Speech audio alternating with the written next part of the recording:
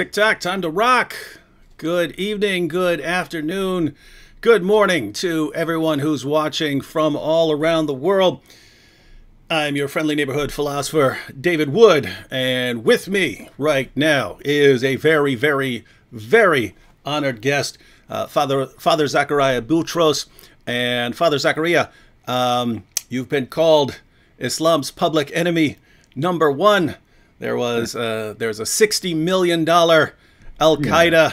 Al Qaeda hit out on you, and uh, for those of you who for those of you who don't know, I'm, I'm, guessing most of you do, but for those of you out there who don't know, uh, Father Zakariah was the one who came before us all, right? So now we have a lot of people who are really blasting away at the foundations of Islam, going through the Quran, going through uh, the life and teachings of Muhammad. But Father Zakariah, Zakariah was the one who started all of this uh, off in this modern age.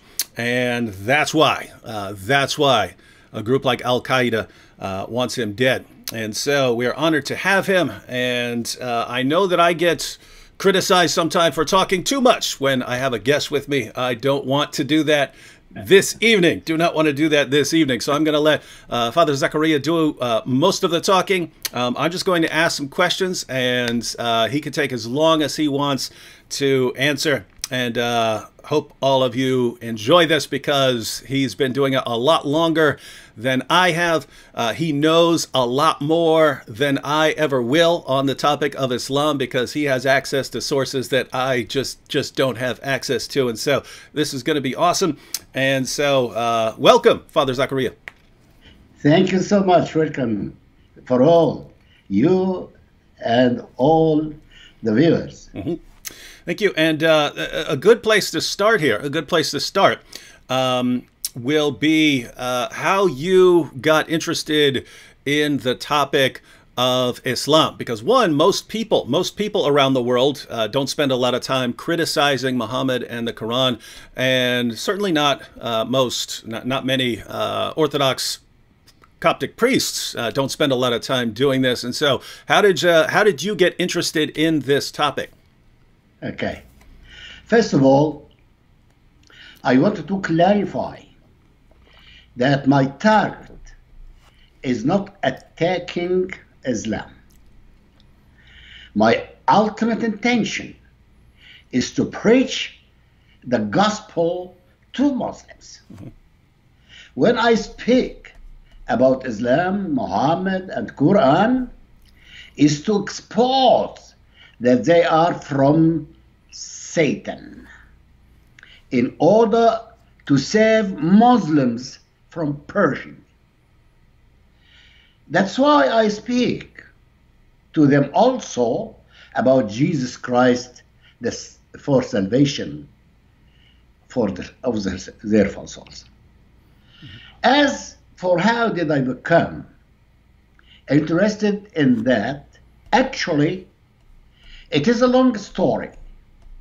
But to cut it short, it was a call from God. He sent to me many Muslims when I was in Egypt who challenged me, accusing me an infidel as I am Christian. They mocked my faith in the doctrine of the Trinity, incarnation, crucifixion, and many other things. While I was preparing response about these things, God told me that is not the problem. The main problem that I want you to know is that they are deceived by Muhammad, who was deceived by Satan, and they all will perish. But you, as my servant, have to preach them to be saved. God guided me that to preach Muslims, I have to follow a certain strategy. First, to reveal the obstacles and show them our true belief about the one God in the Trinity, the incarnation of God in Jesus Christ, the redemption of the cross, and the Bible and the Word of God. Secondly, to expose the false belief in Muhammad, Quran, Hadith, which uh, are the sayings of Muhammad, uh, Gabriel, who is called Jibril, and Allah of Muhammad. This is not God, it's Allah. Something else. Thirdly, to present the biblical gospel the creation, the sin, the redemption, and accepting Jesus Christ in our heart by faith to save us and renew us and give us a new birth to become true Christians. Amen. So this was this was a, a calling from God. Uh, so yep. that is that is really awesome and uh, uh, a lot. Uh, again, for those of you who are new, because some people just become interested in Islam like you know recently and so on and so. Uh, for those of you who are new to this, um, the reason the reason uh, Father Zakariah had a uh, has a sixty million dollar hit out on his head was uh, for uh, sharing that with Muslims, uh, for obeying and honoring this call, and for leading so many Muslims out of Islam that he became a threat, a massive threat uh, to people who want to keep Muslims under their control.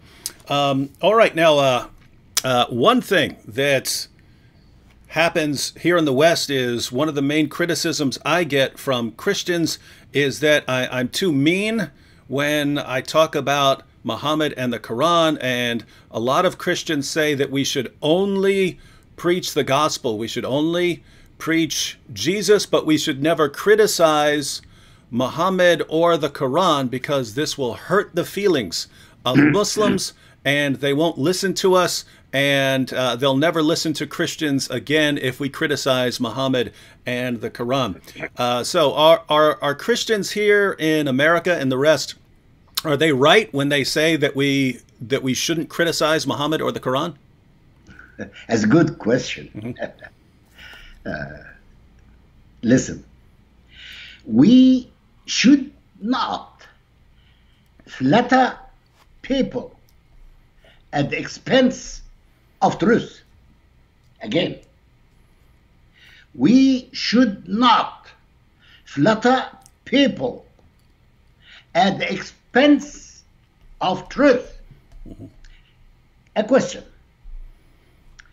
Did Jesus Christ flatter the Pharisees when he said to them, Woe to you, scribes and Pharisees, hypocrites!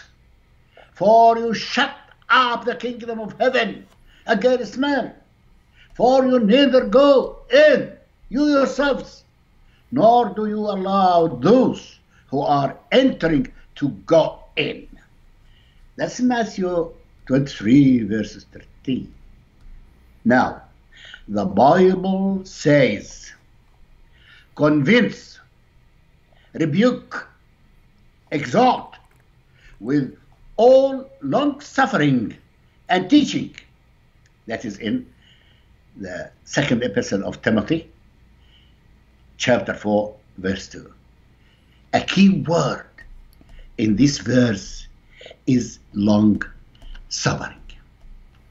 With Muslims, it often takes long hours of research, patience, instruction before you see fruit. For 20 years and more, I have been attempting through my television programs, internet, broadcasts, books, and sermons to teach those who I call the seekers of truth, Muslims, who are open to know the truth. Mm-hmm. No flattering. Amen. Amen. Amen. So, uh, uh, you, now you mentioned you are uh, uh, Father Zakariah mentioned his uh, TV programs and so on. Just wanted to notify everyone that the links to uh, his channels, both English and Arabic channels, the links are in the description box as well as to yeah, yeah, all the link all the links are right there.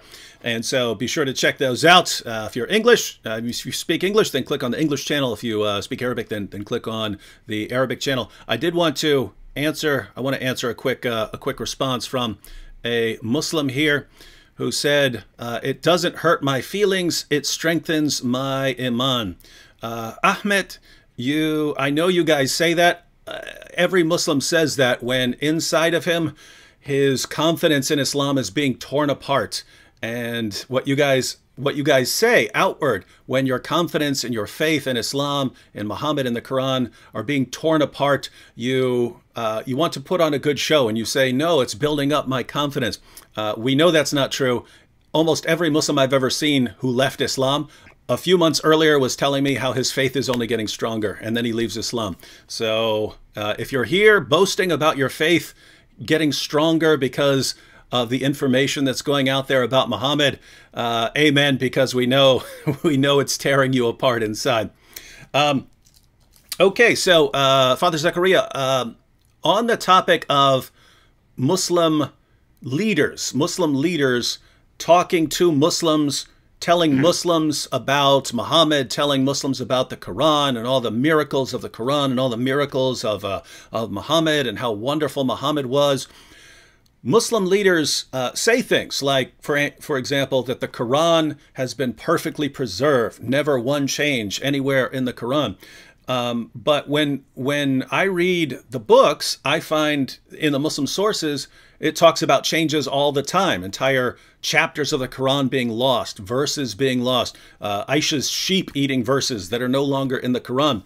And I know the the Muslim scholars, the Muslim leaders, they have to know this. They have they've read these sources, so they know this information. So my question, uh, because you know the the Muslim sources much better than I do, do you believe that Muslim scholars, Muslim sheikhs, Muslim imams are actually lying to Muslims about Muhammad? Are they lying about Muhammad and the Quran and, and so on? Absolutely right. Absolutely right they did and continuously doing. They confessed openly on air in the Arabic TV channels that they were lying to people in their talks. And I have these videos which shows that they say where lying on people. Mm-hmm. And if you want me to send you these values, I am ready. But it is in Arabic. Mm-hmm. Uh, maybe could make a translation for it. Mm-hmm. mm-hmm. Subtitles. Yep.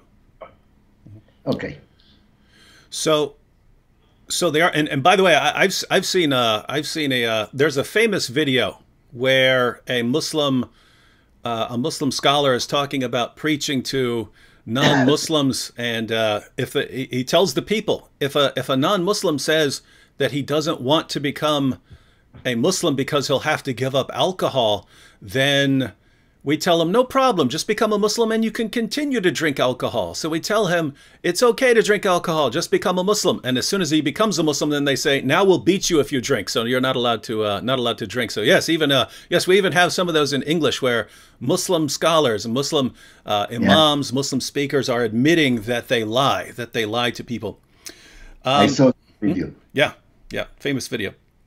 Um, now we we have we have uh, many Muslims here in the chat right now. We have many Muslims in the chat, and well, yes, amen. So since we know, since we know that, uh, oh, by the way, we have over a thousand people watching uh, watching live right now, um, and we know that many Muslims are in the chat, and we know that their leaders have lied to them about Muhammad and the Quran and so on. Uh, Father Zakariah, uh, if you, what would you want these Muslims to know about the Quran? And you can take as, as, as long as you want, uh, but it, it, what information would you like to share with them about the Quran? Uh, because they have false beliefs about the Quran, but, but what's the truth? Good question. I want Muslims to know that Muhammad was a false prophet deceived by Satan. And Satan guided him all his days of life when he was on earth. Muhammad was deceived by Satan, who appeared to him and who talked to him and who guided his way. So he deceived Muhammad, and Muhammad deceived all Muslims. Yeah.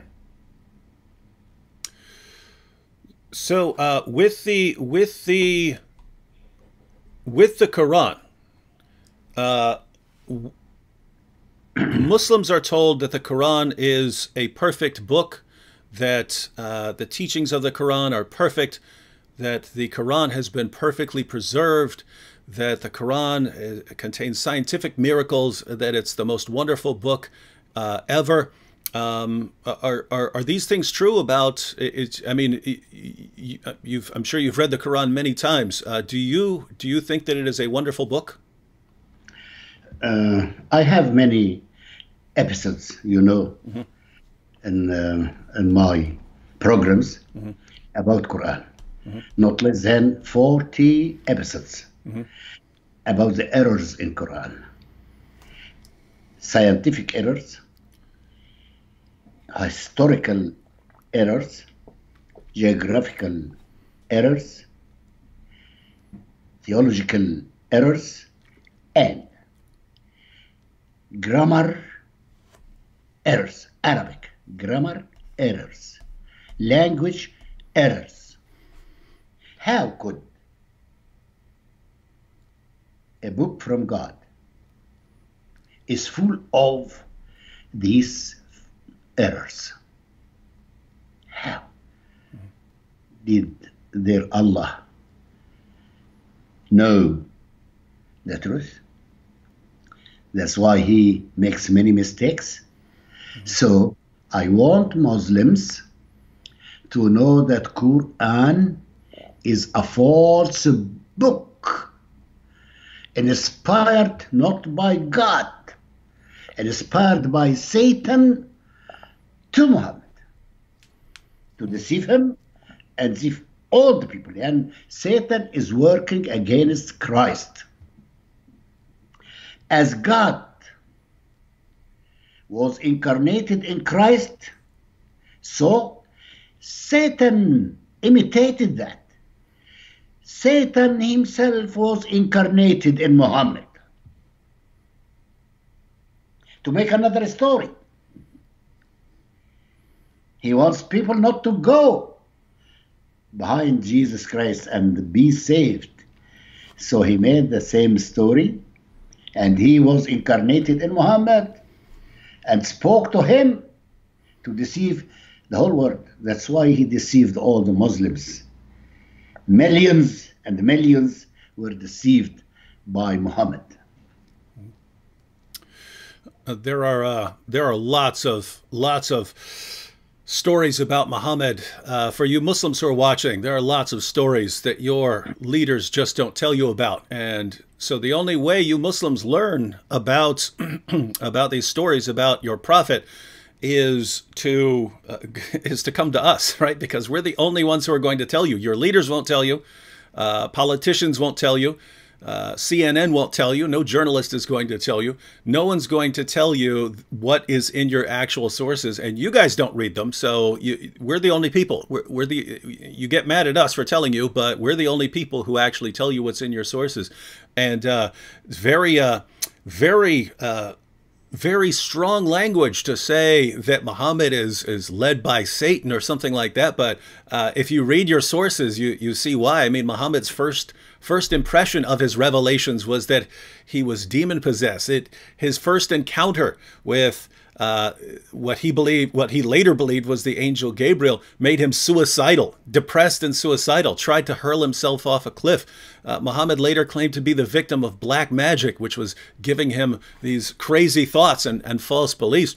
And uh, of course, there's the satanic verses where he admitted that he delivered revelations from the devil. And if you if you Muslims read about the process of Muhammad receiving these revelations, it sounds like something out of a horror movie. It sounds like something terrifying, where he falls on the ground and his skin changes color and he begins sweating. It sounds like something from a horror film. It sounds like something like demonic possession. So, um, again, you're only getting this. You're only getting this from us.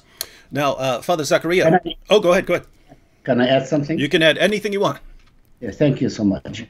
Uh, the first day Muhammad was possessed by the devil, and he came down from the cave of Hara, he, like you described, mm-hmm. crazy. Mm-hmm.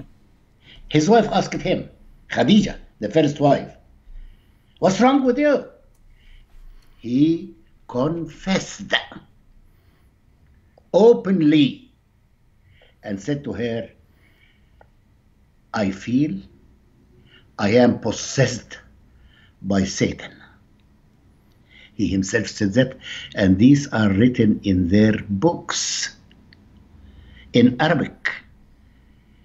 But no one wanted to say that. He confessed that I am possessed by Satan. Okay, go ahead. Thank you. Oh, yeah. I, I think that is a, a massively important point. Uh, you Muslims who are watching, try not to miss this. Muhammad met something in a cave. Yeah. He he was the only one there when he left Muslims. When he left, he thought he was demon possessed. He goes to his wife and says, "Ah, I think I'm I think I'm demon possessed." And his wife, who wasn't there, who didn't see anything, who had no idea, who's trying to calm her husband down because he's suicidal, he's trying to kill himself. She calms him down and says, "No, no, no, no, no. It's you're you're a prophet. That was that was an angel." How would she know? What in the world does this woman know? Uh, Muslims. So your your your confidence in Islam it actually it comes from Khadija, not from Muhammad. Muhammad thought that he was demon possessed when he started uh, receiving revelation. So, all right. Um, now, on the on the topic of Muhammad, Muslims are taught that Muhammad was the the greatest man ever. Um, I mean, what Muslims say today uh, that he's he's the the seal of the prophet. So there are all these prophets in the Bible, and then you had John the Baptist and Jesus, and now we have Muhammad, who is the last, and Muslims believe the the greatest. Now, uh, you've read all about Muhammad and you've been making uh, videos and doing shows for, for many, many years. When you yeah. read about Muhammad, uh, what would you want the Muslims here to know about, about Muhammad that they don't know? The same thing I said. Muhammad was possessed by the devil. He was a false prophet. And uh, I spoke that, like you said, uh, many, many episodes mm-hmm. about his behavior. Mm-hmm. About his behavior. No prophet can behave like that. He married a, a young girl which was six years old. He married her and have intercourse with her when she was nine years old. Terrible. Mm-hmm. Is there any prophet can do that? Is there any man in the world that can do that? He's possessed by devil. And so he had more than 60 women whom he have sex with them. 13 of them were wives. The rest are possessed by hand, by his hand. Slave girls. Yeah. Mm-hmm. So, how's that? A prophet comes and he says, I have no interest in your world except in three things women, food, and perfume. Mm-hmm. a prophet has no interest in the world except in three bad things. How it comes. So, Muslims have to know openly and directly that Muhammad was a false prophet used by Satan. Mm-hmm. Uh, yeah, and I, I think uh, if we look at the evidence, that is that is just in indisputable. Uh, when we look at uh, when we look at Muhammad's life, his teachings just does not line up. Uh, lots of Muslims here they will they would point out they would say ah but you know look at uh, look at prophets in the Bible look at you know King David he sinned and so on and they don't understand. Yes you can point to things that that prophets did but those things are sins ladies and gentlemen. When King David slept with Bathsheba that was a sin. He was condemned for that in Islam, Muhammad does all of these things, and Allah just thinks it's great. So no matter how many things Muhammad does, no matter uh, no matter what he does with a little girl or with his own adopted son's wife, no matter what he does, Allah just tells him, "Good, good job, keep on doing it." And so, ladies and gentlemen, there's no way, there's just no way that Muhammad is in the same line of prophets as we find in the Bible. In in the Bible, prophets sinned and they were rebuked by God, they were punished. In Islam, it almost seems like Muhammad's God just wants him to keep sinning more and more and more. And uh, uh, uh, along, along those lines, ladies and gentlemen, there's uh, there's even in in the hadiths where Allah says that if people didn't sin, He would destroy them he would destroy them for not sinning. He says he would create more people who would sin so that he could forgive them. And so Allah just wants people. Allah wants people to sin according to Muhammad. Does that sound like like the God of the Bible, the God that the the prophets uh, taught about? Uh, it doesn't. And so notice also, according to that, if Allah wants human beings to sin, then his ultimate enemy, his ultimate enemy would be a human being who refused to sin, would be his ultimate enemy. Enemy, Allah's ultimate enemy would be someone who refuses to sin. And that would be Jesus as the ultimate enemy of Muhammad's God. Can I add anything? You can Something. add. Yep. Mm-hmm. Thank you. Muslims always compare Muhammad by the Old Testament the behavior of prophets in the Old Testament, mm-hmm. the war in the Old Testament, they always say that. Justify the works of Muhammad by comparing him with the Old Testament. It is wrong. Why? Because Old Testament was the law. It was the testament of the law. Law means something else than in the New Testament the grace. In New Testament we have the grace because in the first chapter of the Gospel of John it says that the law was given by Moses but grace and truth are given by Jesus Christ. So, Jesus Christ came to complete the Old Testament, uh, Testament and give us a new law, is the law of grace. He gave us the Holy Spirit to help us to behave according to God's commandments in the New Testament. So, if they wanted to compare because Muhammad came after Jesus. Let them compare between Muhammad and Jesus. Mm-hmm. Quran and the New Testament, not the Old Testament, because Jesus Christ completed the Old Testament. How could we go back to the Old Testament after Jesus Christ came and gave us grace? So they are wrong to compare between Muhammad Islam and the Old Testament. It's wrong. If you want to compare, compare with the New Testament doctrines and Jesus Christ's behavior and salvation. Mm-hmm. Amen. And so if uh, we had uh, we had revelations uh, in the law in the in the Old Testament, and then uh, grace and truth came through Jesus Christ. And notice Islam just tries to wipe that out, tries to wipe that out. Um, so for for the Muslims who are watching here, what would you have to say? What would you want them to know about Jesus? Because they think every Muslim I run into says, "Oh no, we believe in Jesus. We love Jesus." We respect Jesus. Um, what would you want them to know about Jesus in case yeah. they don't know? They say that they believe in Jesus, yes, because the Quran said that, but they believe in Jesus as a man, not a, a God incarnated in man. God incarnated in man. No, they deny that. They refuse this belief.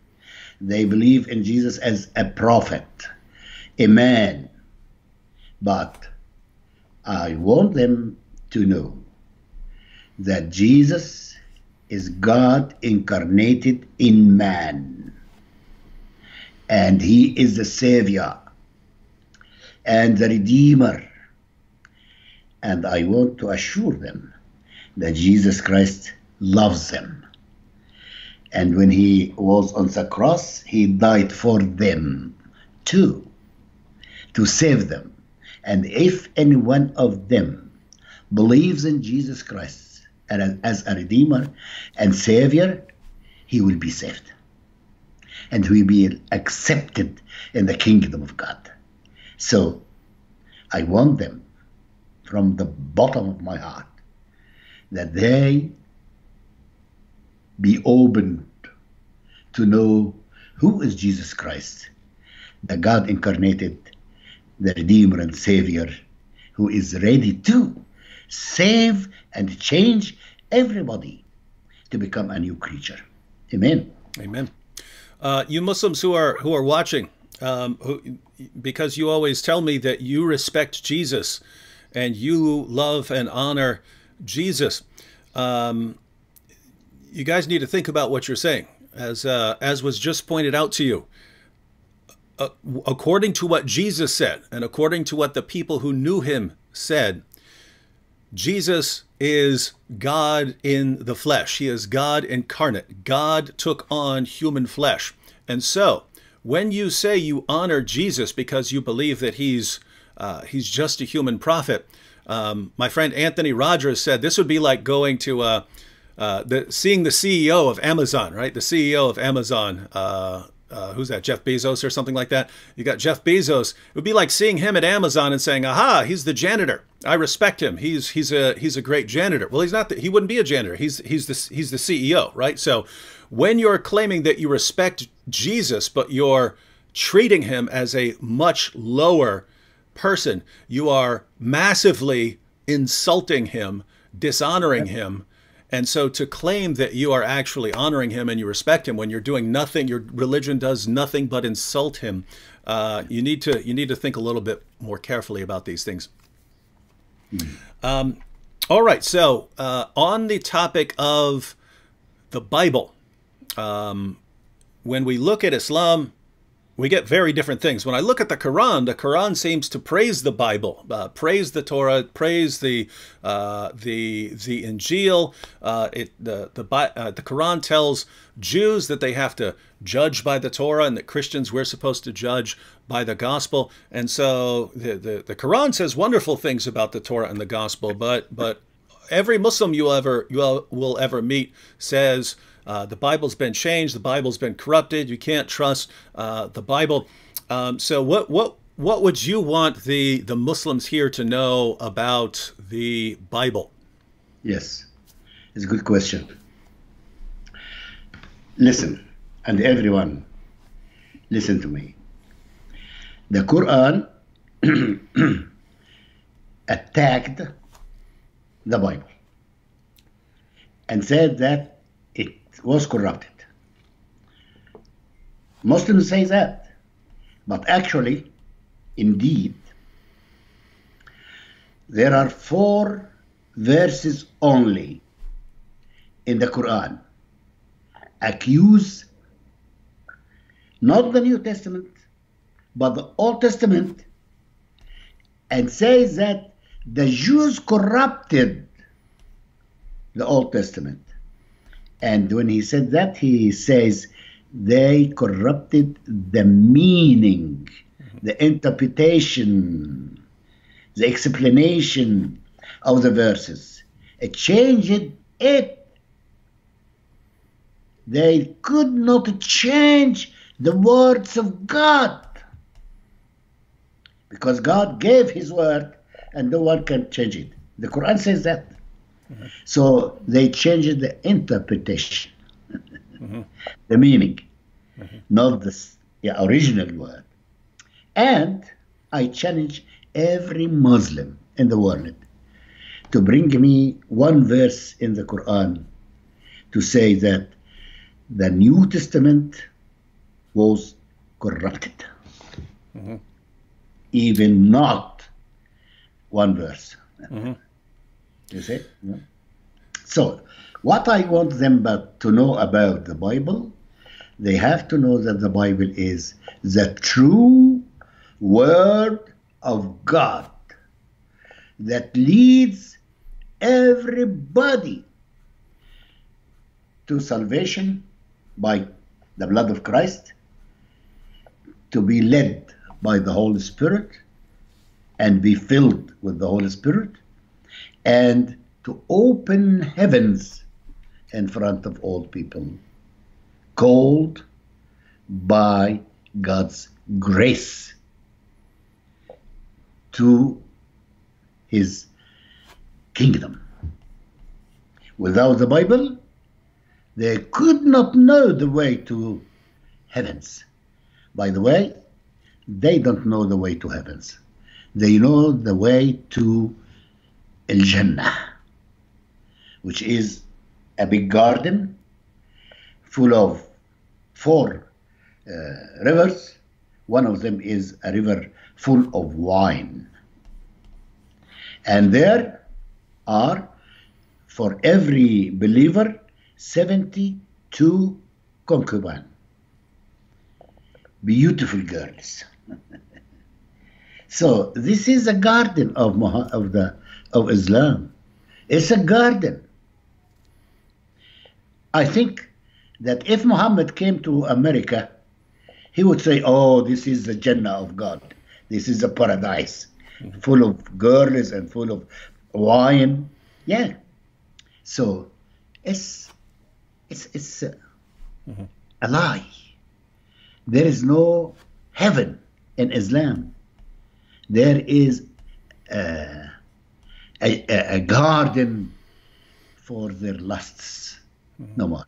But the Bible show us shows us what is the heavens, what is the kingdom of God, how we can go there and be with God and uh, enjoy His love and be united with Him. That is the Bible. Mm-hmm. I hope that all of them know that. Muslims who attack the Bible, actually, they didn't read the Bible. Mm-hmm.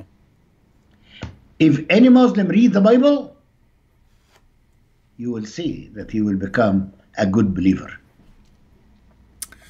Yep, we can uh, we can we can hope that they'll they'll start uh, they'll they'll start uh, reading after this.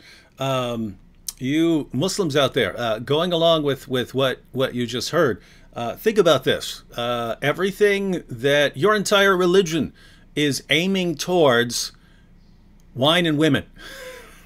Yeah. Wine and women. It's all about wine and women. Why should I join this religion? Guys, wine and women, wine and women.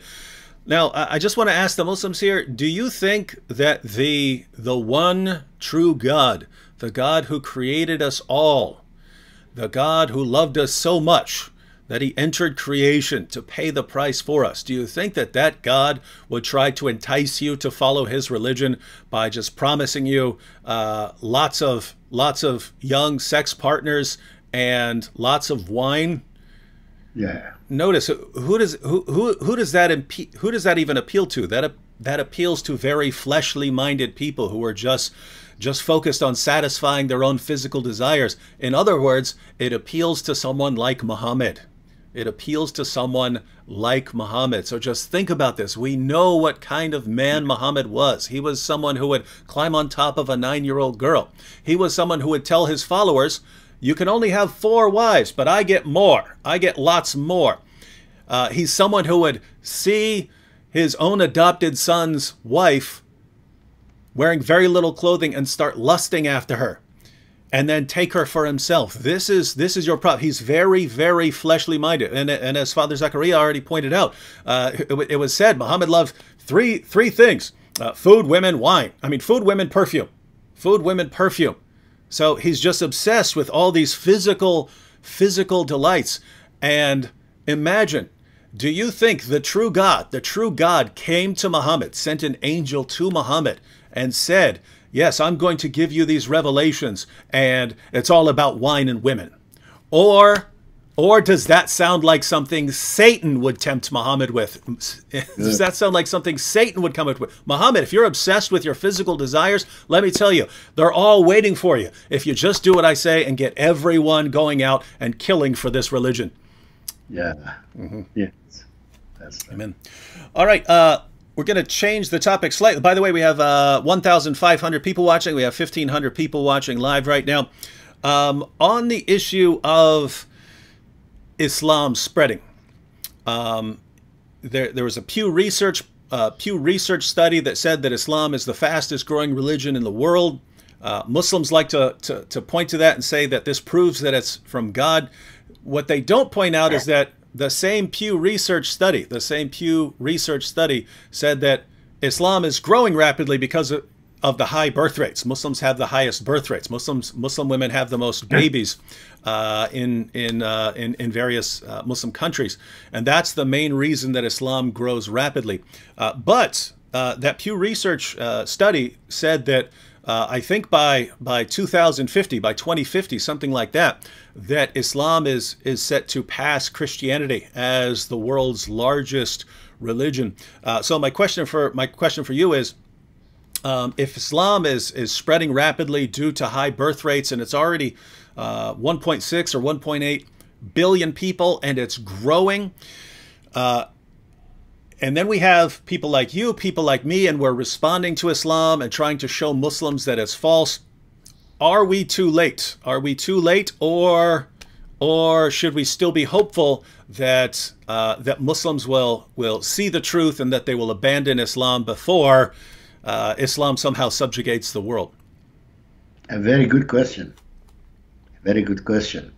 Yes, we are too late. Islam is spreading too fast. But God can stop it and save all Muslims. We should pray and preach to, to them, and the Holy Spirit will accomplish the work and save the truth seekers from Muslims. This is our faith. This is our belief. We are not working alone. God is using us. God is with us. God sent us to do His work, to accomplish His ministry, to call Muslims to become and invite them to become to Him. So He is working. God is powerful and able to save any person who seeks for him. So this is our belief and we pray and ask you all to pray and we have to preach them the gospel to be saved. Thank you so much for this time. Mm-hmm. Thank you. Mm-hmm. Um, that's uh, that that that answer that answer reminded me of uh, that answer reminded me of uh, when Jesus said that uh, it's easier for a camel to go through the the the, the head of a needle than for a rich man to enter paradise. And then his, his followers were, were shocked. And he said, with, uh, with, with, with man, it's impossible. But yeah. with, with God, all things are possible. And that sounded like your response. Yes, we're, we're too late. We can't, we can't, we can't stop Islam. But, uh, but we're not alone. We have we have God. We have God with us. And so uh, so, ladies and gentlemen, if you're worried about the spread of Islam, just just uh, just remember the God that you serve, and this is uh, this is not too big of a uh, of a problem for him. Uh, all right. Well, I did not want to keep uh, Father Zakariah uh, too long. We have over 1,500 people here, um, but I just want to give you any time to say anything else that you want to say um, to the Christians who are watching, to the Muslims who are watching, to anyone else uh, who is watching. Do you have uh, anything else that, that, that, you'd like to add? Um, and, and there are lot, there are lot, there are lots of things. It could it could be a topic like you know uh, uh, an Islamic topic like you know abrogation, or if you want, if there's anything you're studying now, or uh, anything that's going on in the world, coronavirus or something like that. But uh, anything else you'd like to cover? Yeah, thank you. Yes. Now God is giving us an opportunity. He says to the humanity, it's enough. Stop here. So, because of the virus of corona, everything in the world is stopped. Every person is keeping himself in his house he put an end to everything. So we have to take this opportunity in order to repent and come back to God. God is speaking to us. The same thing like he did with Jonathan, Jonah, Jonah, when he sent it to him to Nineveh in order to preach the gospel there. And all the people repent, and then God forgave them. This is a golden opportunity. God is speaking to the whole world, the whole world, through this virus which attacked all the world in one time to stop everything. God says to the people, What will you do? You are working and busy and uh, go away from my way astray. But stop. Stop. Think again about your life and about your eternity. Seek how to be saved. No, there is no other way except Jesus Christ is the way of salvation. Come to Him. He is ready to accept everybody and to forgive everybody. On the cross, He said, Oh Father, forgive all their sins. So he is now saying to us, Come, repent, and I forgive all your sins and guide to the heavens. Amen. God be with you. Pray for me as I pray for you. Amen. Amen. Uh, thank you, uh, Father Zakariah, for, for joining us. Thank you, everyone, for watching. And uh, Father Zakariah anytime you want to uh, you want to join me uh, I'm uh, I'm I'm at home because we uh, we're all here for from the coronavirus where uh, people are stuck at home. So anytime you're studying some topic that you want to share with with with uh, people on, on, on YouTube, I'm here. Uh, I'm here and I'd uh, be happy to have you join me anytime to talk about anything that you're interested in. Again, I want to remind everyone that the links to Father Zakariah's channels are in the description box. So uh, whether you know whether you speak English or Arabic, uh, click on a channel, uh, get that link, and follow the material. Um, we just want everyone we want all we want all the especially the christians out there to learn the material on those sites so that you can share it so that you can share that material with your Muslim friends and show them uh, that they've been lied to. And you Muslims who are watching, you Muslims, guys, you're going to be locked. You're going to be locked down for a while. You're going to be inside. Uh, go visit those channels. Visit those channels and get some information that your leaders just aren't going to give you because they're ashamed. Your leaders are ashamed of their own prophet. Your leaders are ashamed of their own book, and that's why they have to uh, lie about your prophet and his book. So get the truth. Uh, visit the sites and talk to you all next time.